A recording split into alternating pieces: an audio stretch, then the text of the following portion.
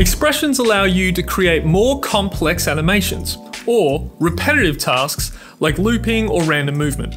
It's the geeky code side of AE, and the list of expressions is seemingly endless. But unless you want to get into character animation or serious motion graphics, you may not use a lot of them. And personally, I use a few over and over, and for anything else, I just Google it, and someone's usually created it for me so I can just copy and paste it. So for now, let's cover the two that I use the most. They are Wiggle and Loop. First, let's create a wiggle, which is a sort of randomizer. To start, we scroll down the little arrow to reveal our properties. We can then Alt or Option click on anything with a stopwatch. Click where the text is and now we can code anything we want. As we start typing, After Effects will helpfully serve us with some code possibilities. We type wiggle, open brackets, and then two numbers with a comma in between. The first number is the frequency. In other words, how many times or how often. And the second number is the amplitude, so the amount. So with wiggle brackets 5 comma 50 close brackets, we're telling the pre-comp to move 50 pixels away from its original position 5 times a second.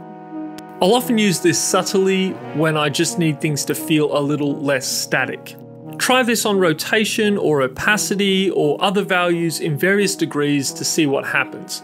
As you can see, the expression meant I didn't have to keyframe all of this random movement, saving me loads of time. Another favorite is loop. For that, let's set some keyframes. I want this word to animate from left to right over and over again without needing to copy and paste the keyframes. This will allow me to tweak that animation without needing to reduplicate keyframes. Alt click on the stopwatch and this time type loop and select loop out using the arrow keys and hitting enter. It's worth mentioning that in expressions, lowercase letters and uppercase letters can mean completely different things, and even a uh, space typed in the wrong spot can break the expression. You don't even need to type anything between the brackets because this will loop for as long as the comp is. To delete an expression, either delete the code by selecting it and hitting backspace, or alt click on the stopwatch again. I mean, this is hardly even the tip of the iceberg of what expressions are capable of. There's always more to learn in AE.